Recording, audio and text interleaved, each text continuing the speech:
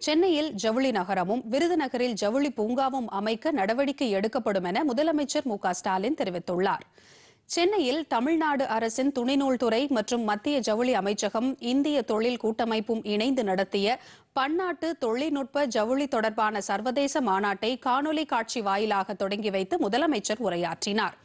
ஜவுளித்துறையை மேம்படுத்த புதிய ஒருங்கிணைந்த ஜவுளி கொள்கையை உருவாக்க நடவடிக்கை மேற்கொள்ளப்பட்டு வருவதாகவும் பன்னாட்டு நிறுவனங்கள் தமிழகத்தில் தொழில் தொடங்கும் முயற்சியில் ஈடுபட்டிருப்பதாகவும் கூறினார். சென்னையில் ஜவுளி நகரம் அமைப்பதற்கும் விருதுநகரில் ஜவுளி பூங்கா அமைப்பதற்கும் நடவடிக்கை எடுக்கப்பட்டுள்ளதாக முதலமைச்சர் மு ஸ்டாலின் தெரிவித்தார். அனைத்து துறைகளிலும் புதுமைகளை புகுத்தவும் உயர் தொழில்நுட்பங்களை பயன்படுத்தவும் ஏதுவான கொள்கைகளை வடிவமைத்து வருவதாக முதலமைச்சர் கூறினார். ஜவுளி தொழிலில் தமிழ்நாடு பிற மாநிலங்களுக்கு முன்னோடியாக உள்ளதாக அவர் பெருமிதம் தெரிவித்தார்.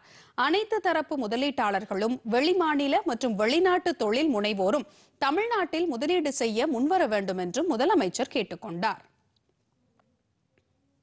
டெக்ஸ்டைல் சிட்டி அமைப்பதற்கான முயற்சிகள் மேற்கொள்ளப்பட்டு வருகிறது.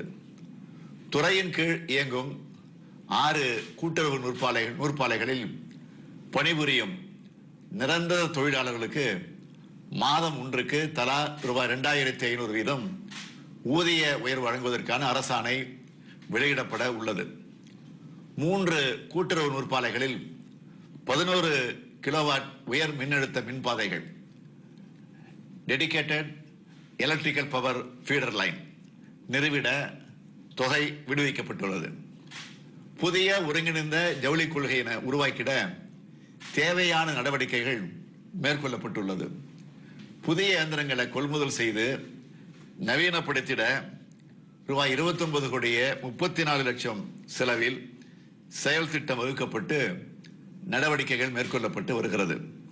விருதுநகர் மாவட்டம் குமாரலிங்கபுரம் கிராமத்தில் ஆயிரத்தி ஐநூறு ஏக்கர் நிலப்பரப்பில் மாபெரும் ஜவுளி பூங்கா அமைத்திட சிப்காட் நிறுவனம் மூலம் நிலம் கையகப்படுத்தப்பட்டுள்ளது.